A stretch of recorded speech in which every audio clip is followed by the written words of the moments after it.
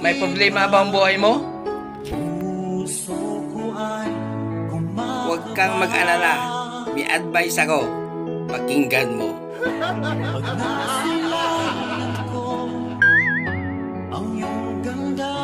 Alam nyo, ganyan talaga ang buhay. ay Parang life. Basta ang importante ay mahalaga. At kung saan ka masaya, doon ka happy. Basta wag kang maniwala sa swerte. Kasi malas yun. ang minsan ay sometimes. Kaya matuto tayong tumanggap na acceptance.